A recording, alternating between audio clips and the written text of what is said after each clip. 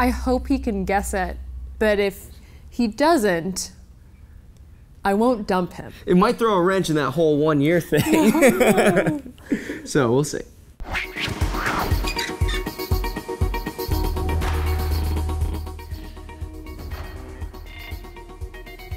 Her hand's a little smaller, and so it feels a little different. So we'll have to see.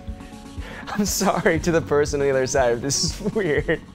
I'm like trying to test out her knuckles. I'm like, is that Soph's knuckles or is that somebody else's? Um, but then again, I don't even know what Safiya's knuckles feel like, so I don't even know why I'm trying that. There's a little bit of gamemanship going on here. I think that part of you guys might have been like, let's put Safiya first, trick out Tyler. Uh oh this is tricky now. Now this hand is a little bit bigger, and Safiya's got pretty big hands.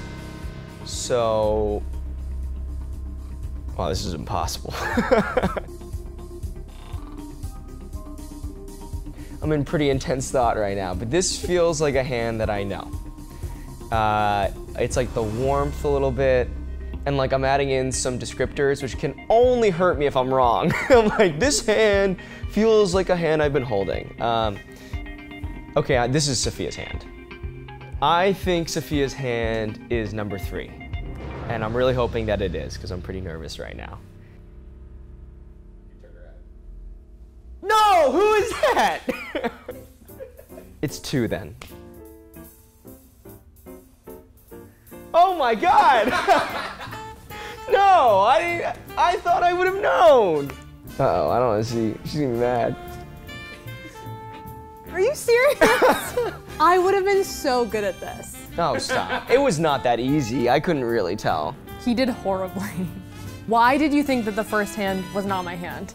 We don't walk this far apart is really what it is. Like, and so we usually walk right next to each other, and so when we're further apart, it just felt different. Like the angle is different. No, it's fine. I'm not mad.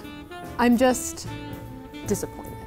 Listen, I've held one hand for a year, and maybe if other people get them, then they're better at holding hands than us. I think that we're pretty awesome at being boyfriend and girlfriend, right? Yeah. There you go.